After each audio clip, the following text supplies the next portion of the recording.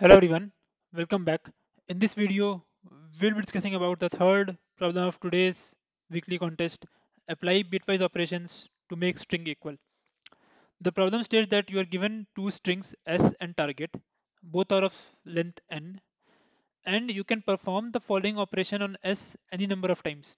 The operation is choose two distinct indices i and j and replace si with si or sj and sj with si xor sj. Now you can do this operation any number of times and you have to just say whether after applying some operations you will be able to reach target from S or not, right? So that's uh, the problem. Let's take an example. Let's say 10100110. So we need to convert 0, 1010 to 0110. So what they're saying is take two indices i equals to 2 and j equals to 0 so basically i is this and j is this. So uh, and replace them with replace si with si or uh, si or sj so 1 or 1 is 1 right? So this will remain 1 and j with si xor sj so 1 or 1 is 0 and hence this element or this position will become 0 Similarly, if you apply another operation with i equals to 2 and j equals to 1, you will be getting 0, 1, 1, 0 finally. So this 0, 1, 1, 0 is equals to target and hence we return true here. Similarly, you will see by applying any operations on 1, 1, you will not be able to get to 0, 0 and hence we return false here, right? So now how to solve this? So as always, it is a bitwise operation. So just try to think if you are able to dissect the problem into a single bit problem. We have solved this problem, this kind of problems a lot of times in this channel. So just think if you what these operations actually mean and can we dissect this into a single bit problem. So let's start with this. So we have this operation, right? So SI can be replaced with uh, SI or SJ and SJ can be replaced with SI or SI or SJ.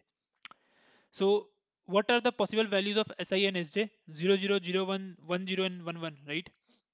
Now let's try to apply this expressions or this uh, uh, these values to i and j based on this formula. So 0 or 0 like si will be si or sj right so 0 or 0 is 0 right and sj would be si or sj which is 0 or 0 which is again 0 right? So if initial si and sj is 0 0 the final si and sj would be 0 0 similarly if you try 0 and 1 0 or 1 will be 1 so si will become 1 right?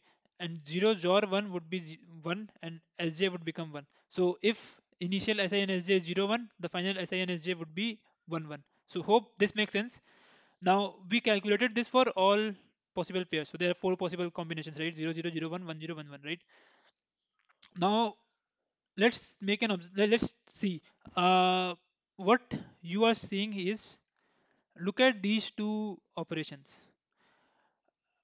Are they like you can see sorry uh,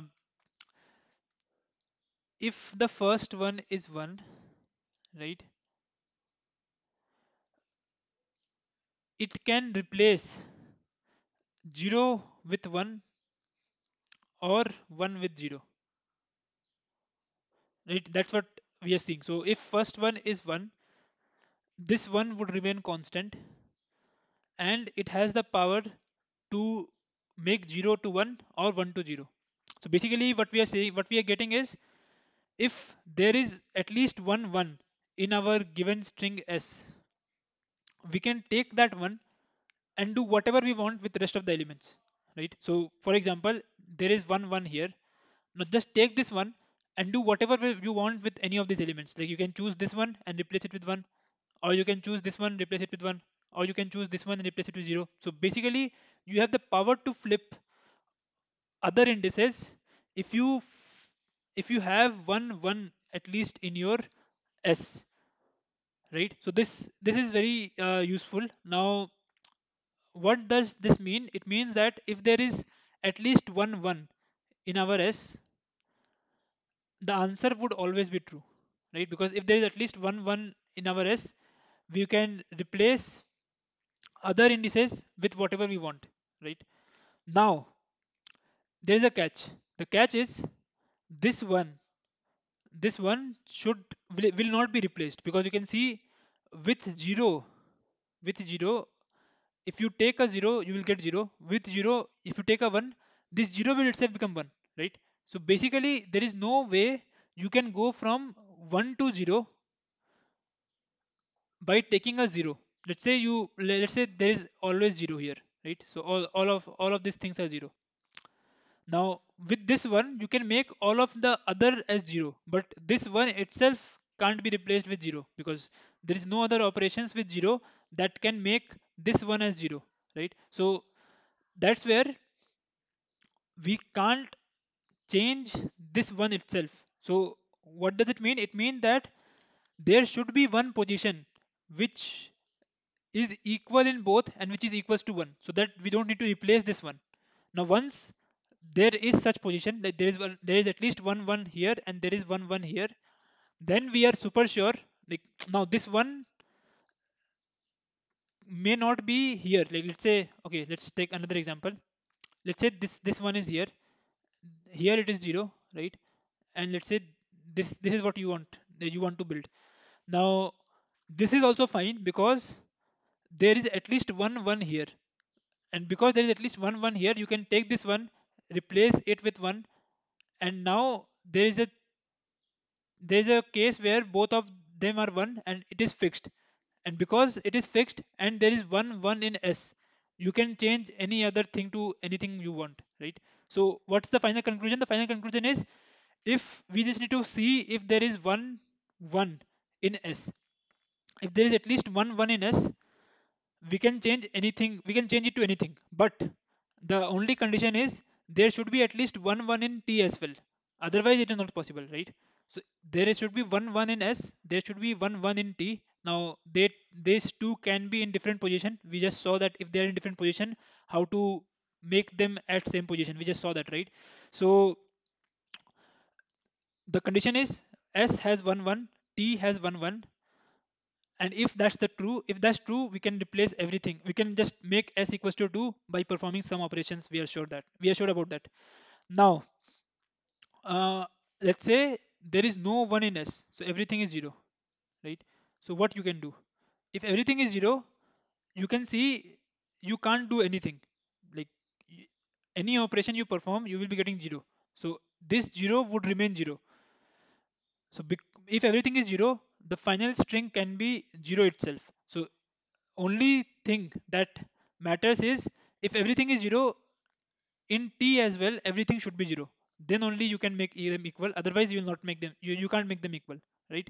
So two conditions the first condition everything should be uh, like there should be at least one one in s and there should be at least one one in t. If that's the case you are good. If both of them are not true if both of them are zero like uh, there is no one in s and there is no one in t they, it means both of them are zero and that is also correct. But if there is one one in s and there is no one in t or the vice versa then you will return false right? So four cases let's uh, just look at the code. The code uh, we just check whether they are initially equal. This will uh, tackle the case where s is all zero and t is all zero right? Otherwise we just check whether if target if target is all zero if target is all zero it means there is no one. There is no one in t right? So basically we can replace this entire thing with there is is t has one one or not like this is the implementation i've done during the contest but uh, we can replace this entire thing with whether t has one one or not. And whether this is whether one whether s has one one or not. And if both of them are true we'll return true otherwise we'll return false right? So hope this makes sense. If you have any doubts in the question please post them in the comment section below. I will be happy to answer. If you like the video give it a thumbs up and do subscribe if you haven't already. And i will see you in the next one. Thank you